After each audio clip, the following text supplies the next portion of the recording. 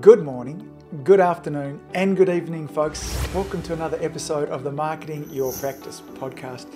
In today's episode, we're going to be talking all about how to make sure that your website is doing the job that it ought to be doing.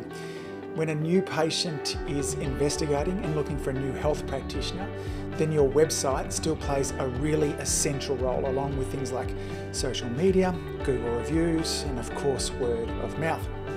Now, each and every week, I'm reviewing sites. And in reviewing them, what I've started to notice, particularly over this last two years, is some really common themes that go through. Now, first of all, the sites look beautiful. They literally look like they've been designed by an artist. There is stunning pictures and visuals and colours, but they fail in one really important, in fact, they fail in one essential area, and that is usability, or what's often referred to as the five second test. It's this if I was given five seconds to look at most practitioners' websites, I wouldn't be able to tell who they were, you know, what kind of practitioner that they were, how they could help me, let alone things like what their phone number, their address is, and how I could go about making an appointment. Now, this week on the podcast, my guest and I are going to solve this problem for you. We'll talk about the essential ingredients of uh, an effective patient attracting website. Now, my guest is Wayne Mullins. Now, he's the founder of Ugly Mug Marketing. Interesting name, we talk about that on the podcast. Don't worry, he's actually a really handsome fella there as well. Now, Wayne helps peeps like us with our branding, our marketing, and our websites, and he is the real deal as well. He's won praise from some of the biggest influencers in the world. Authors like Chris Voss, you might know him, he's best selling author from Never Split the Difference there as well. Another guy, a huge uh, internet influencer, marketing guy by the name of Neil Patel, founder of QuickSprout and Kissmetrics, and lots of other famous folks as well. So that's enough from me. Let's meet Wayne. Let's talk about what we need to do to make sure that your website is doing the job that it ought to be doing. See you in there. Welcome to the Marketing Your Practice podcast, where we guide natural health and wellness experts through the pitfalls of marketing. Each episode, you'll learn simple, effective, easily actionable, and heart centered marketing strategies. And here's your host, Angus Pyke. Wayne Mullins, welcome to the Marketing Your Practice podcast. How are you? I'm doing well, Angus. Thank you so much for having me buddy it's an absolute pleasure. I was excited to chat. I in the process of kind of preparing for these i get to stalk you a little bit there as well. Um, i love what uh, you have to say. We'll talk a little bit i'm sure about what seems to be an incredibly harshly named ugly mug marketing. I'm hoping that's not referring to you. I'm looking for the person with the ugly mug um, as well but we'll get into that in a little bit. In fact let's get, let's give our audience a little bit of your background story before we start to talk about websites and social media and all that kind of stuff Sure. So my, my background is this. Um, around my junior year in college, for whatever reason, for Christmas one year, my parents gave me some CDs by this gentleman of the name Zig Ziglar. And I don't know if anybody listening to this familiar with Zig Ziglar, but Zig Ziglar here in the States was one of the probably most predominant, uh, well known motivational speakers and sales trainers of his day. Um, for whatever reason, they gave me those CDs. I listened to those CDs, and Zig Ziglar did a phenomenal job of selling me on the profession of selling. So that began my path into sales, which led into marketing. Um, and I, I left a sales job, a corporate sales job. I was doing quite well. I, I, left that and started a company. The only company or the only thing I really had experience in was cutting lawns. So I started a lawn and landscape company. Uh-huh. Um, over the course of a three year window, a three year period, grew that company through some very creative, very clever marketing tactics and started having people come to me asking me, um, How are you growing? What are you doing from a marketing perspective? And it was out of that that the company Ugly Mug Marketing was born. Can you share a little bit with our audience? What were some of the things that you did to promote the, um, the lawn cutting business? Yeah, absolutely. So uh, I think one important lesson or key takeaway here is um, when you look around at what everyone else is doing, it's often a good strategy to do the exact opposite of what they're doing. So, back when I had the lawn and landscape company, the way that business was done, the way that business was sold was the traditional way. So, it was advertising on radio, advertising on television, it was uh, postcards, direct mail, those types of things. Mm. And so, we began looking and saying, okay, we want to go after commercial business. What's the best way to go after commercial business? And we believe that that was a direct approach. approach. So what we would do is one day a week, every single week, we would go to a local donut shop. We would buy dozens of boxes of donuts, and we have the we had these nice little labels printed with our logo on it, and it just said compliments of, and it had our company name, company logo on there. And so what we would do is we go around to all these commercial businesses, and we wouldn't necessarily even go in and ask for the manager. We wouldn't ask for the decision maker. We would just go in and strike up a conversation, say, hey, we're in the area. We want to drop off some donuts for you guys. Thank you so much for uh, doing what you do. And the amazing thing happened over time was that um, as the manager or as the you know, owner of the company would come in and realize that the you know the, the lawn outside didn't look that great, they would complain to the employees. They'd say, you know, our, our lawn's looking terrible. Have y'all seen the lawn guy? And they would say no we haven't but you know there's this company that comes by here all the time bringing us donuts. Maybe you should give them a call. So what we did was we actually created evangelists inside of all these organizations simply by bringing donuts to them. Mm. it um, one of the mantras of my company and I'm a Zig Ziglar fan too, is that you can get everything you want in life if you just help enough other people get what they want. And it's kind of, you know, the uh, that's a living example of, you know, I'm going to feed the masses through there too, and eventually it'll come back to me. Um, and so then the transition to there into Ugly Mug marketing. When did you first start that up? So, Ugly Mug Marketing officially started uh, full time in January of 2009. Yeah. So, going on 12 years. Great. Now, today we're going to talk um, one of my favorite things to talk about. We're going to talk about websites. And, you know, as I was going through there, you kind of have this concept where you talk about is this your beautiful website doing what it ought to? I see lots of these stunning websites that look like they are designed by artists. They're literally pieces of art. They're two. But I look through them and I have no idea whether it's a chiropractor, a dentist, a dog wash place. Now they're visually stunning, but it, rarely do they give me the information that um, that I need to have. So let's start with this. When you're putting together or looking at a website, what are the ingredients of a successful website? Great question, Angus. And you're absolutely right. All too often, you know, people make decisions for a new website based on what their competitors are doing. So they look around, they may see another practice who just got a brand new, shiny, fancy website. And now they go look at theirs and they're like, you know what, ours it needs to be polished up a bit. It doesn't look that great. So they make these decisions to have new websites built, first of all, kind of with the wrong motive. But when we actually begin looking at a website to redesign a website, um, we start with what we call the three C's. So if you were to go to school for design, they're going to teach you the three C's of design. And those three C's are simply this um, you have the contrast, you have the composition, and then you have the content of the website. Now, if you were to go for your practice, if you were to go to a, a you know, a web person, a web company, and have them get started on your website, the thing that people love to do who work in these industries is they love to do the creative things, right? They yeah. want something that's a showcase piece. They want something that looks like, as you described, a piece of art that mm. you could literally, you know, almost frame and hang on your wall. And you're starting on the wrong foot, so to speak. You're starting with what we would call, or in those three C's would be called the contrast and the composition. Mm. So contrast simply meaning, um, you know, the colors that are used, the contrasting elements on the page that are used. Uh, the composition being the layout or the structure of the page. And those are the two elements that designers love to work with, right? Mm. Don't give them content. They'll figure out later on how to fit the content in there, but we want to design something that's starking or, or um, beautiful, right? Mm. And it's wrong. We have the whole thing upside down. So we love to start with content. What is it that we are trying to communicate? Specifically, what is it that's going to resonate with the person on our website? And that's the difference. When you think of those three C's, you must, must, must start with the content. What is being communicated? Mm. I think it's interesting when I go back to school and friends of mine who are designers, uh, graphic designers, website builders, those kind of things there too, they tend to be these incredibly gifted, uh, creative people.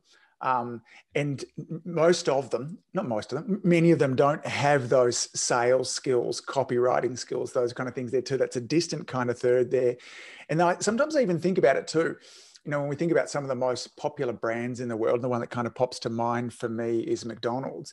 You know, the brand colors are this horrible red and yellow. It's not a color that any of us would ever really choose at all. There's nothing kind of Apple design about it, but it's it, it certainly has that contrast that it, it has there as well. So when we're thinking about content, if somebody is in uh, the game for wanting a new website, what are the keys of the content that must be there?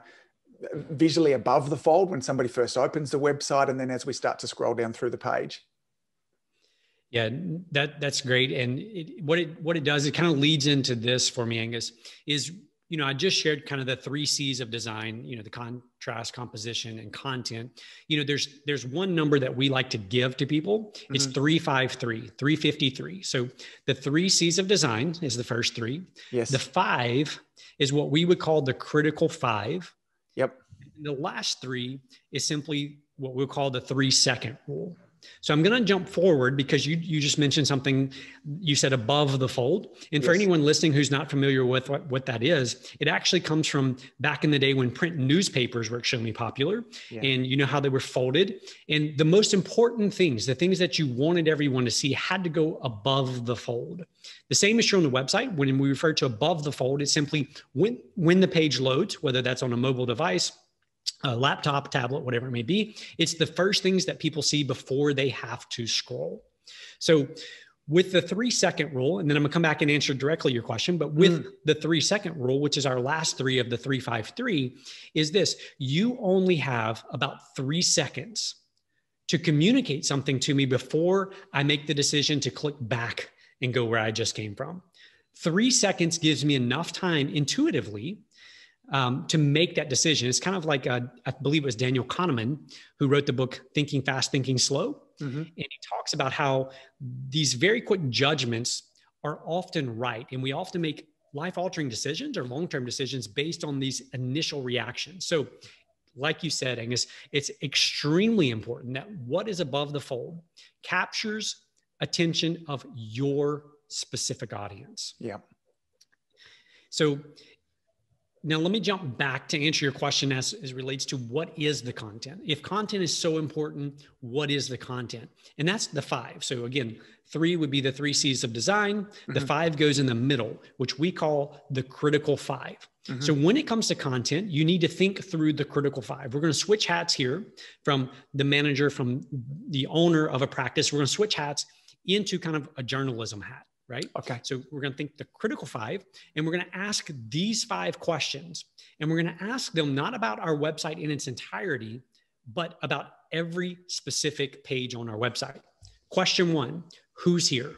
Mm-hmm. We need to know who is on that specific page.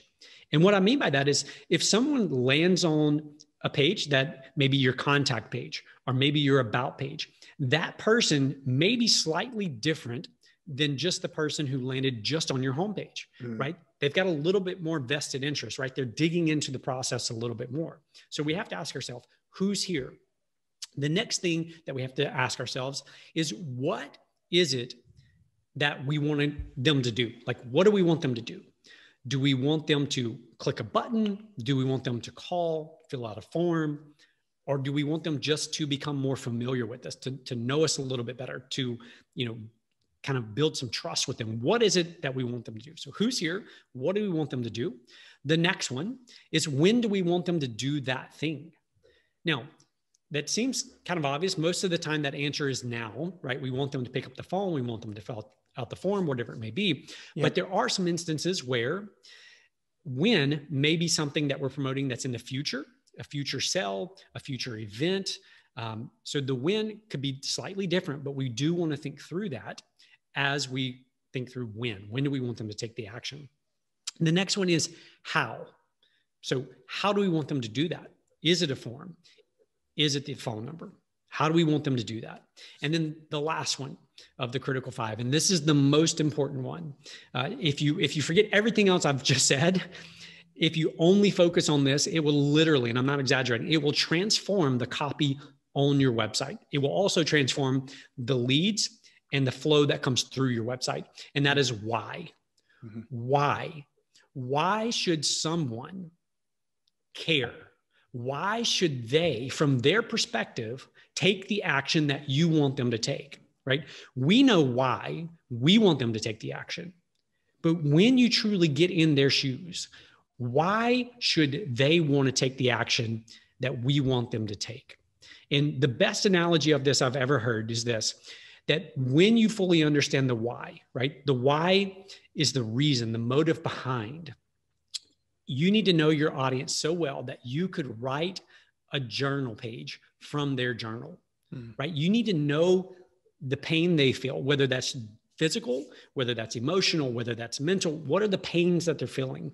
Um, you know, what what are the things that bring them joy? What are the things they would write in their personal journal? Right when you get into that mindset, as you know, kind of touchy feely as that may sound, mm. it will literally transform the way that you sell and the way that you write copy for your website. So, can we uh, uh, brainstorm some ideas back and forwards here? We've got a lot of chiropractors, a lot of natural kind of health practitioners, but let's do it from a chiropractic point of view, okay? So, and if we spend some time on that why there, that we're putting our website together, what are some of the whys that chiropractors should be thinking about that they should be addressing with regards to those five C's? Yeah, I think it's important to to really immerse ourselves into their mind. So the, the first question becomes how well do you know your existing patients, right? Yes. How well do you know them? And yep. the first question that comes to mind is this What percentage of your current patients have been to another chiropractor or another uh, medical source to mm. try to alleviate the problem or the challenge they're currently dealing with? Mm-hmm. When you know the answer to that question, that now sculpts and shapes the way you write that copy, right? Because if we know that a high percentage have tried other alternatives before coming to us, mm-hmm. we will write copy differently. That why is different yeah. than the why for someone who this is their first attempt to solve the problem that they're facing. Yes.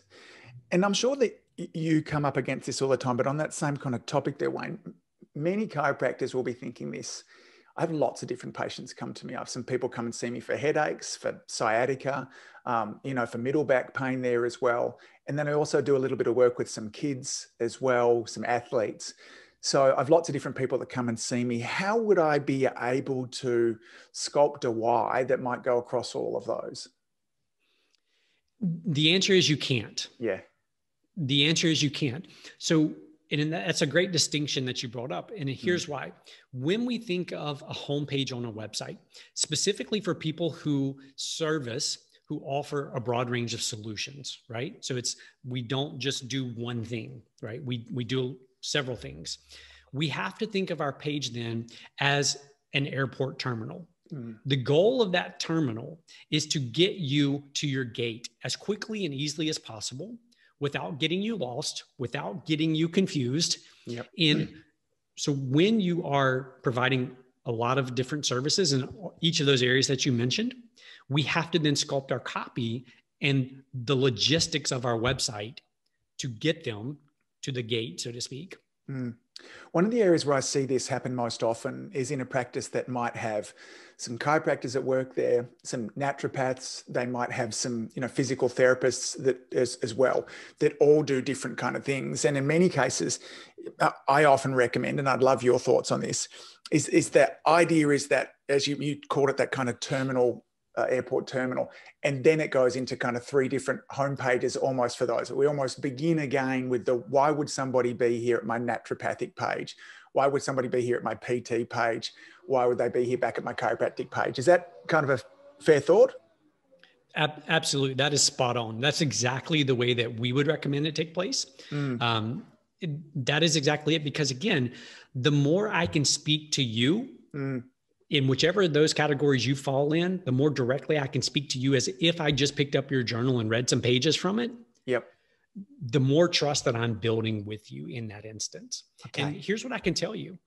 If you survey your competitors, you pull up their websites and you look at the ones who are doing this the way you just explained and described, it's very few Mm. Very few. So you're going to immediately stand out when you speak directly to them. You're going to immediately stand out from the competition. So let's use this as an example. Um, one of the chiropractors that's listening to this has um, a pediatric focus in their practice. They do great work with kids. One of the number one reason why newborns come to them is because of colicky, unsettled babies. So that's their avatar. It's probably the mum that is looking at the website there as, as well. Can we role play back and forwards about what they might want to have in that kind of above the fold three seconds to kind of capture the attention that will kind of address the why there as well? What would you suggest? Yeah, absolutely. So help me just clarify the audience just a little bit better. So, yeah. um, what would be some of the the symptoms or reasons that a mom may understand that um, you know like what are the symptoms of the colicky baby right so here's a typical scenario so we've got a mother who might have a baby it's generally in the first four months of life the child isn't sleeping it's not feeding right it's super unsettled um, you know, she hasn't got more than two or three hours sleep in a row for the first four months. So she's tired, exhausted, emotional. She's starting to think like that she's a bad mum, that she's done something wrong. She's been to the maternal health nurse multiple times. She's been to a doctor, and they're all telling her this is colic, it's normal, get over it. So she has a friend of hers who says to her, maybe you should try chiropractor. I hear that that can sometimes help these colicky, unsettled babies. So she decides to do a little bit of research to see if she can find a chiropractor. Yeah. So it's it's those words you use initially, Angus, that are spot on. So mm-hmm. you would look for those keywords that they may write in their journal. So let me give you just play off of that. So mm-hmm. I don't understand what's going on with my newborn son. Mm-hmm. He's now, you know, two months old and he's never slept for more than two hours straight. Mm. I feel like a bad mom. Yeah. Am I doing something wrong? Mm. And so again, you're you're using the language as if you read the journal. And mm. so you could the homepage could say something like this: Are you a new mom who feels one of these things? Yeah. Like, you know, I'm I just can't seem to get my baby to sleep at night. You know, so you you lead in with those things, and that's that's exactly right. Those words you used earlier yes. to describe that. Um, the other would be, you know, have you tried these other things with no avail, right? Mm-hmm. Have you tried going to your regular, you know, pediatrician or, or whatever it may be, and nothing seems to work? Mm-hmm. And then I would look at, um, I would look at bringing in some social proof. And what I mean by social proof is kind of like you referenced some um, other moms, some other parents who have brought their infants and who can say, I had exhausted all my options. I was at my wits' end you know, I thought I was doing something wrong. And whoever the doctor is, you know, resolve this issue within a matter of, you know, three sessions or whatever it may be. Mm.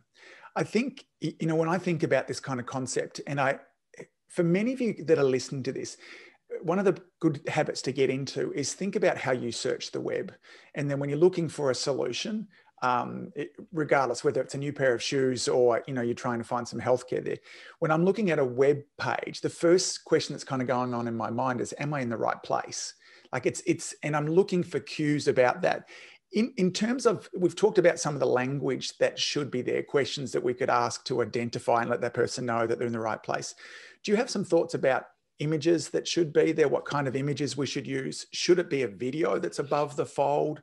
What's your thoughts on that? Yeah. So the answer again is going to vary based on the specific audience. But what I can say is this that we want the images, if we are using images, we want the images to represent what our, our typical, our ideal patient would look like, right? So we don't want um, someone who looks like a supermodel who doesn't represent our typical patient that we see, right? Yep. So if it's a mom with a child, um, in, in the perfect world, we love to recommend to our clients to actually use a photographer, have a photographer come in yep. and, and, use real photos. Yep. Um, you you cannot, um, you know, even though there's a bazillion different sites out there where you can buy. Bazillion's a great word, by the way. There's a bazillion different sites out there. Zeros on a bazillion? we where you can buy stock photos these days you cannot replace the authenticity mm. of having real photos taken in your practice. Yeah. Highly recommend it. Um, and again, what you want to think through are colors. So the photos themselves should evoke certain emotions, mm-hmm. right? They should support the story that is being told. You should not select a photo just because it's a cool photo. You should not select a photo just because the photographer says this is a great photo. Mm-hmm. You must select a photo that communicates, that adds to the story that is being told on that mm-hmm. specific page. And to, so, go along with that example, I'm going to have a photographer come in and take some photos inside of my practice. It would make sense for me to organize some of the happy mums and babies that I care for to be in there, and perhaps some photos of me looking after the babies, the mum looking like this is great, life has never been better. I'm now one of those happy mums. I don't look tired, exhausted. All of those kind of that's the sort of picture that I'm I'm, I'm going for. Is that am I right there? Yeah, absolutely. You want to communicate that story um, you know, if, if we think of a traditional case study and the way a case study would get told, it's problem. So, what's the problem, mm. solution, and then the outcome. So, even if we use that for the framework as we're writing our copy, so mm. what is the problem? The problem is, in the example you use, we can actually take two paths. We can take the path of the mom or the mm. dad. We can also take the path of the child and so we can weave those two together into that story mm-hmm. you know so the parent feels these emotions the child is cranky exhausted doesn't eat correctly because of all these things right? So we can we can paint these pictures. What is what is the solution? In other words what is the solution that we specifically bring to the table? Mm-hmm. we want pictures of that solution. We want to demonstrate that solution. So like you said it's it's working with the child. Yeah. And then what is the actual outcome? Well, the outcome is best told or best represented by what the parent may say, right? Because obviously at that age, the, the kid can't say the thing, but the parent can.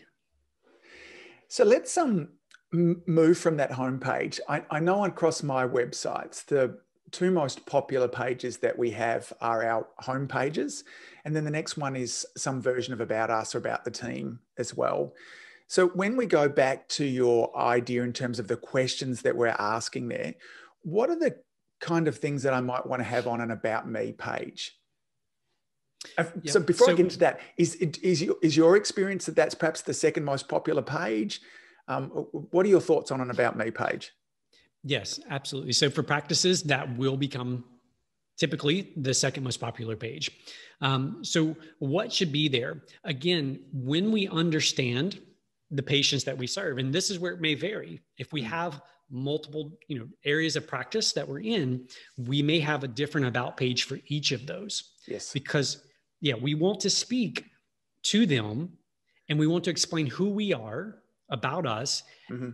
through that lens in other words through the lens mm-hmm. of someone coming for that solution to us and yep. so that is why having one generic about page if you have different areas in your practice is not optimal. It is not ideal. Yeah, I love it. And then, so in that, I will hear different people recommend that the About Me page is not really an About Me page. It's really an About You page and a little bit about me. Do you have some thoughts on that?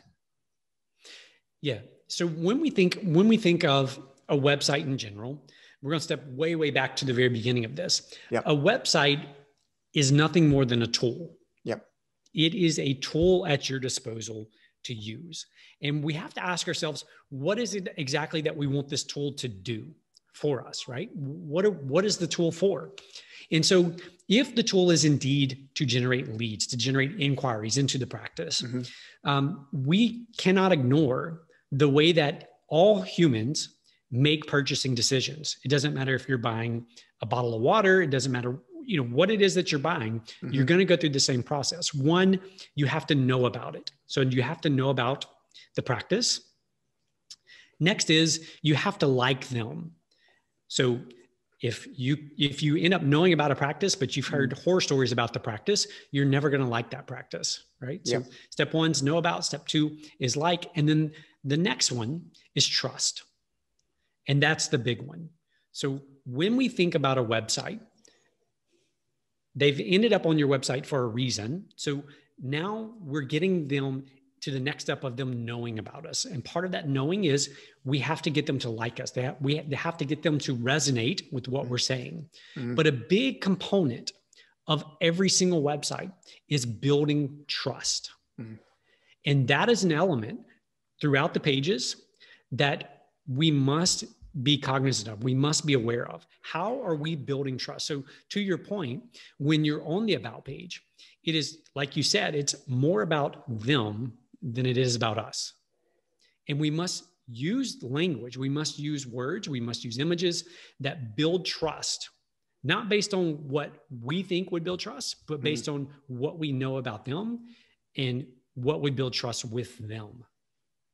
So, so how, uh, what are some ways that we'll continue on with this example of the chiropractor that sees the kids? What are some of the ways that they could, what elements would they include in there that would help them build trust of that mum that she's gone to the next level? This looks like it's here. I'm going to find out a little bit more about that chiropractor and, you know, let's see what, what she does. Um, but what elements should she include on that page? Yeah. So to answer that question, I'm gonna I'm gonna cheat and and go around the question and come back. But yeah. here's an important lesson for everyone. It's this that people would rather trust a stranger they've never met than to trust you or I as the owner of the practice. So I'll say that again. Right. They would rather trust a stranger that they've never met than to trust you or I the owner of the practice or the person in charge of the marketing for the practice. Yep. And so we must be aware of that throughout every single page of our website. And what that looks like very often are case studies mm. and or testimonials, references and referrals. Um, those elements become very important. And as much as we like to think that somehow, you know, we aren't persuaded by those things, uh, mm. we all are. So having the testimonials, having the icons of, you know, um, the accreditations, the schools, the, the articles, the publications you've been featured in, all of those things work to build trust. Again, because they're trusting those people, those external organizations, whatever they may be, over trusting what we say any single day of the week. So elements specifically would be, you know, some specific testimonials from patients, mm-hmm. um, so any accreditations, you know, whatever those accreditations may be, um, any publications that works have been published in or that, you know, articles have been written about, any interviews, media interviews, all of those things mm. Go a tremendous distance in terms of building trust. Yeah. I love it. I love it. Love it. Let me switch gears just slightly um, more and more of the practitioners that I'm speaking to are building their own sites now. It's never been easier with sites like kind of Squarespace and Wix and these kind of things. Do you have a thought about the ability for people to be able to pull this kind of stuff off with regards to those kind of build it yourself sites? Yeah, look again at at the end of the day, we must remember that the website's a tool. Yes. And whatever tool you need your website to be for your practice, mm.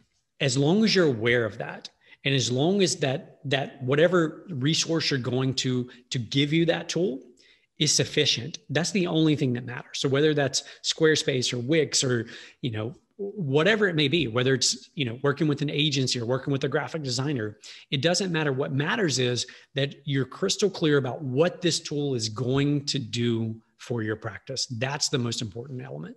Yeah, I think that's a great kind of recommendation there, Wayne. My, my thoughts to, to our listeners out there is I encourage them to make sure that they have some level of control of their website. Um, they want to know how to add a blog post up there. Maybe they've got a change of hours, those kind of things. If you're hamstrung to your designer or somebody external to get that done, and even if they'll do it for nothing, but it takes a week to get done, these are kind of things that really hold it back. It's um, it, it's not complicated. Most WordPress sites nowadays are super simple to add a blog to, add a new page to, change your office hours, all those kind of things there. So when I'm recommending, because I get this question all the time, you know, should I go with this site, that site, or have somebody build the, the, the site for me? Make sure that you have an element of control that you can make the most basic of edits. I'm not suggesting that you need to know how to design the whole homepage there, but you certainly want to know the basics of how you can add information in and out.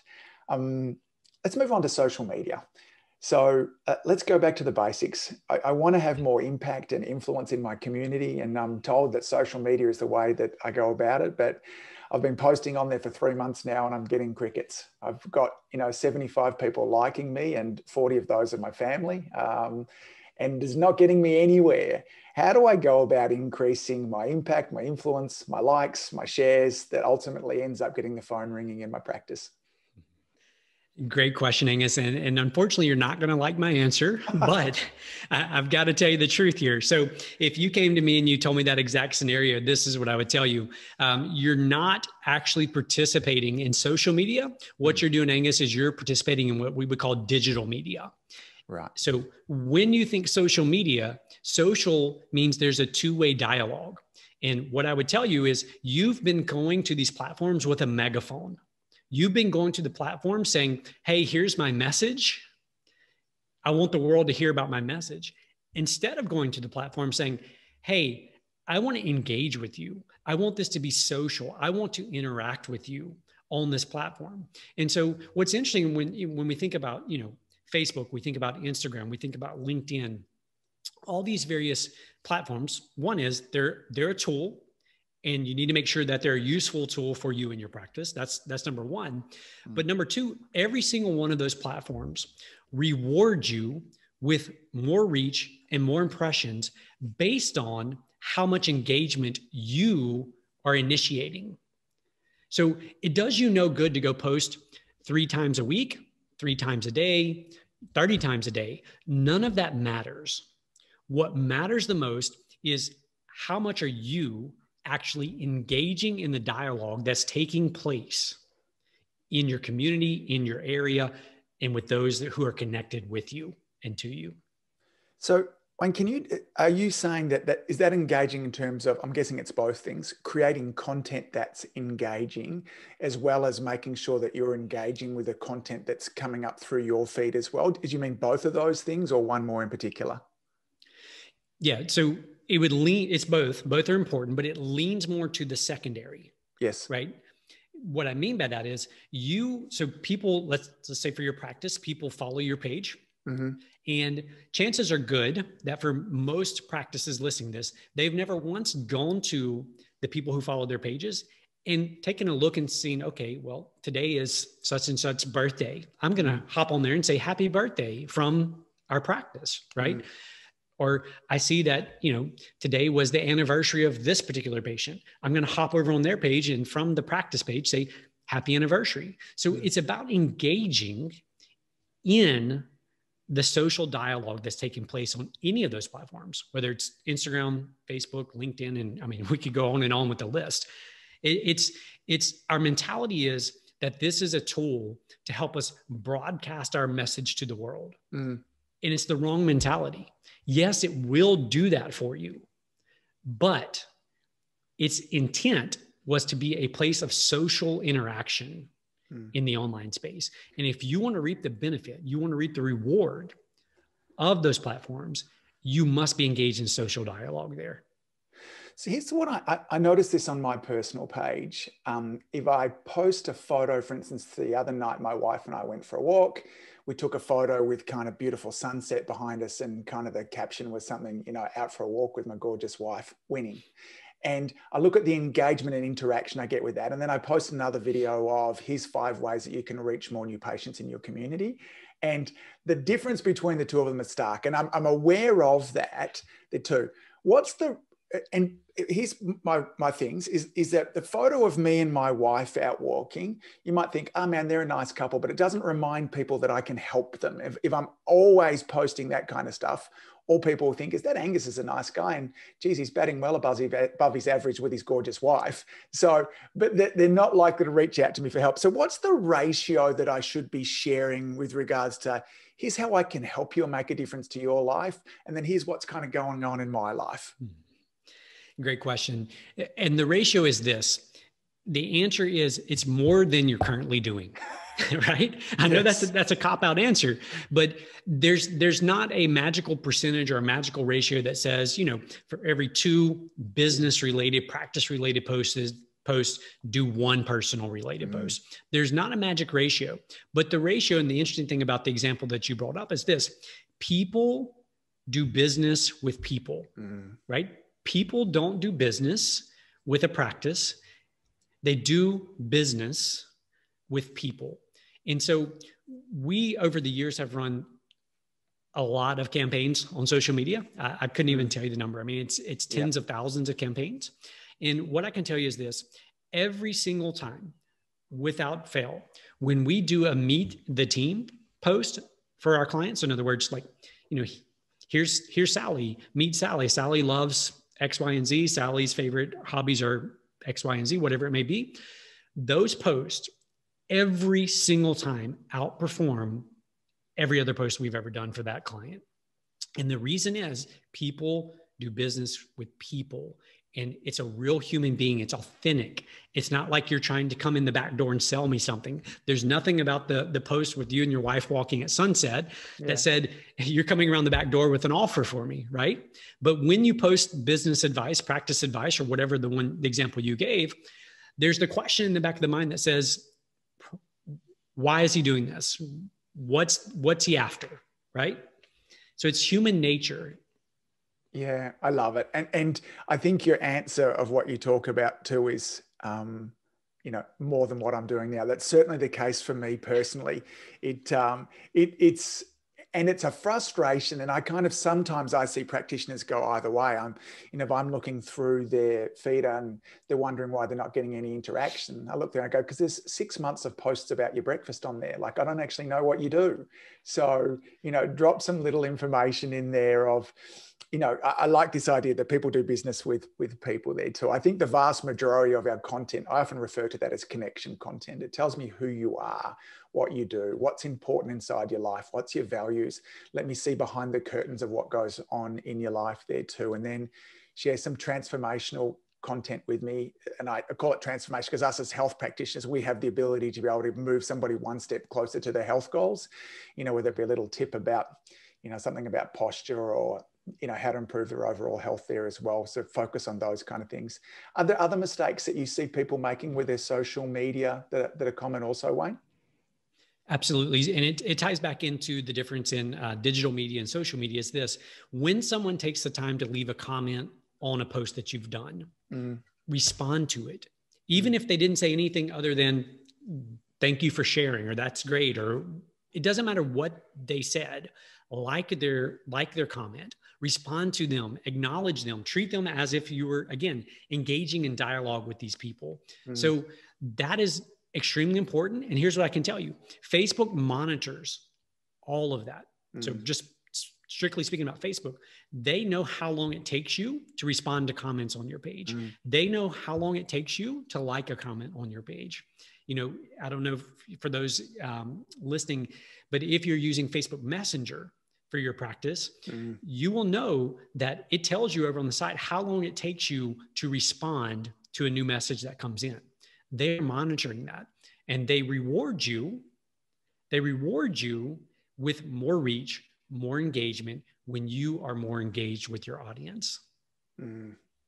Hey, Wayne, this is, I, I've got two enormous pages full of notes through here as well. It's not often that I take this volume of notes um, uh, on a podcast episode.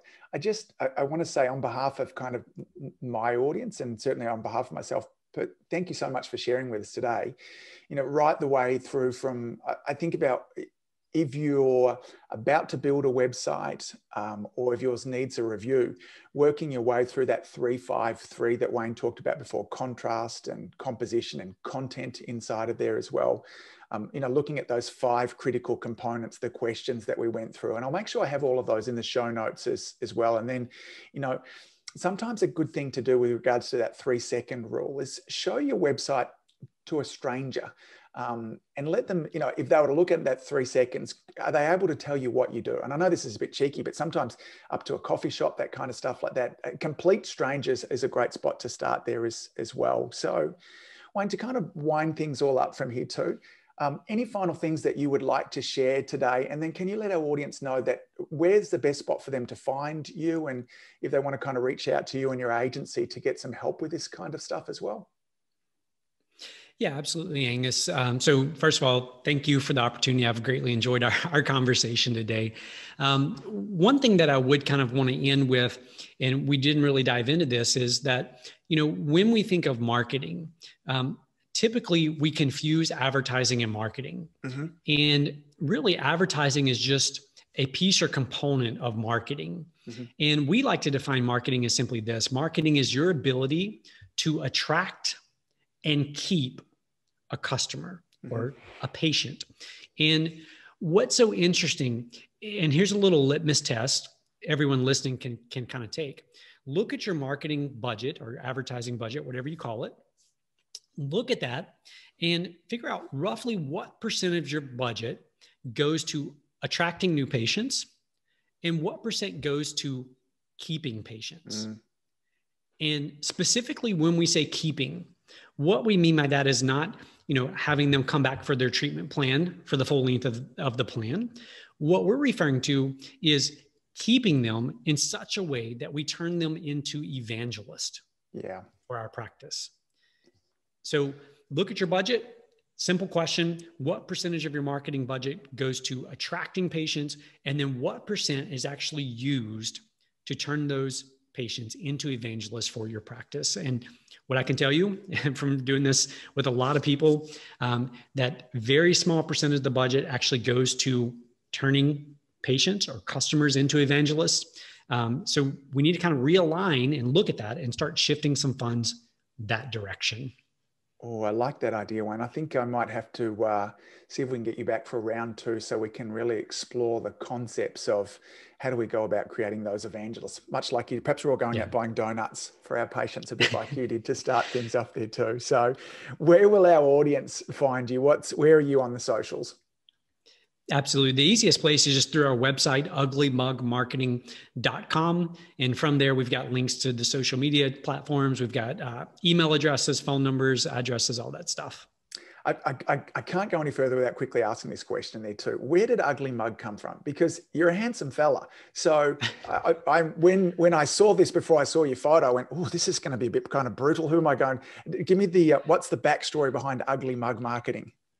Yep. Super quick version of the story is um, this gentleman came over to the U.S. back in, I believe, his late 40s, early 50s. His name was David Ogilvy. He lands in New York City and says, "I'm going to build the world's largest ad agency." Within 15 years, he had done just that. Ogilvy and Mather still to this day is in the top 10 uh, largest ad agencies in the world. And David had a saying that was very popular, or maybe not so popular, within his organization, and that was, "I would rather an ad." That's ugly that gets results than one that's beautiful that doesn't. Yes. And so the name Ugly Mug Marketing really is a um, you know kind of a hat tip to that saying, and it's that we should always keep our focus on results and not go after things that are beautiful just for the sake of things that are beautiful. Yeah. I'm an Ogilvy fan, and I'm surprised I'd not heard that before. I feel like he's come up. My greatest piece of advertising that I think in the world is his ad for the Rolls Royce that was at 60 miles an hour. The noisiest thing in the car is the electric clock. Something like he says a little bit more eloquent yep. than that, but I just think of the perfection of those words there too. It really makes me smile. So um, I'll make sure I have all links to the website, uh, your website and socials as, as well. So um, again, Wayne, thanks so much for sharing with us uh, as, as well. And I look forward to hopefully round two down the track and we can kind of investigate that whole concept of creating more raving fans. So um, thanks for all that you do. Have a great day. Dude, thanks so much, Angus. If you enjoyed listening to this podcast, you have to come and check out the Community Influencer Program. It's my monthly coaching program where we take all this material and I'll work one on one with you to apply, implement, systematize, and help guide you and your practice to the next level. Now, you can join me on over at adiomedia.com forward slash join. That's adiomedia.com forward slash join. I'd love to see you in there.